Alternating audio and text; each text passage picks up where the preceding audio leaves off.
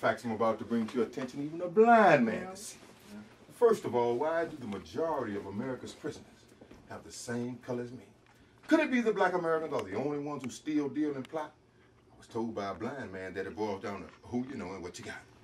When bin Laden rained down terror from a clear blue American sky, many Americans sang, God bless America, and tried to figure out why.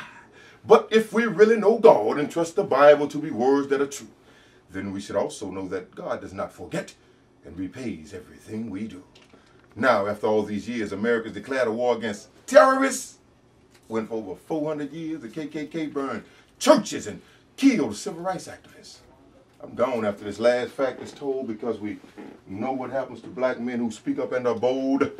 The saddest joke is one from old symbol of American justice is a white bitch wearing a blindfold. Thank you.